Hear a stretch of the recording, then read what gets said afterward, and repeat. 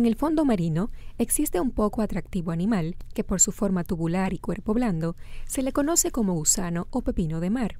Aunque se le atribuyen importantes propiedades culinarias, no es parte de la gastronomía dominicana. No obstante, desde hace unos años ha empezado a escasear por su pesca indiscriminada e ilegal para exportarlo al demandante mercado asiático, principalmente Hong Kong. En dos inmersiones hechas por un equipo de Diario Libre en aguas de Montecristi, no se encontraron especies. Bueno, en dos años más o menos se han cogido más de 3 millones, de 4 a 5 millones de, de pepinos. Se mantiene muy poco porque ya han cogido bastante ya por toda parte los pepinos. En Asua, Bani y Montecristi se pueden encontrar pescadores cargando cubetas en las que han recogido ejemplares extraídos mediante buceo libre. En México, Panamá y Puerto Rico, el pepino de mar está en veda tras registrarse una sobrepesca. En la República Dominicana se han dado tres permisos para comercializarlo. Uno corresponde a una empresa que comparte propiedad con la oficina de Montecristi del Consejo Dominicano de Pesca y Acuicultura. Las autoridades vinculan a asiáticos y militares en la extracción y comercio irregular. Para evitar ser detectados, los comerciantes hacen el trasvase en el mar. Se tiene conocimiento de que una cantidad extraída se va hacia Haití. Como el pepino de mar gusta el mercado asiático, en el barrio chino de Santo Domingo se consiguen ejemplares.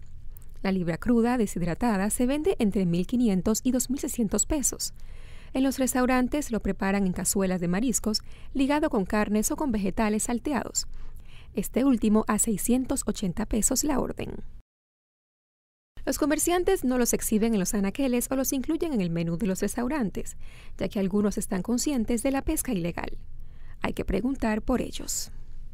El hábitat del pepino de mar son las praderas de hierbas marinas, cuando se extrae de manera descontrolada, se saca de su entorno a un animal que hace una importante función en el ecosistema del piso marino, ya que se alimenta de material depositado o sedimentos.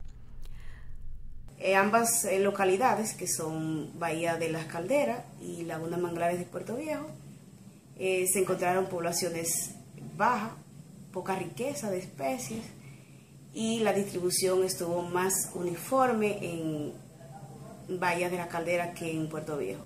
Pues la comercialización ha traído como la disminución, ¿verdad? La disminución de estas, de estos, de estas especies en ambas, en ambas localidades. Puede atribuirse, ya que los pescadores que ellos capturan según la demanda que tienen los, los que adquieren el producto. El Consejo Dominicano de Pesca y Acuicultura y el Ministerio de Medio Ambiente trabajan en el borrador de una resolución con el objetivo de programar una veda estacional del pepino de mar.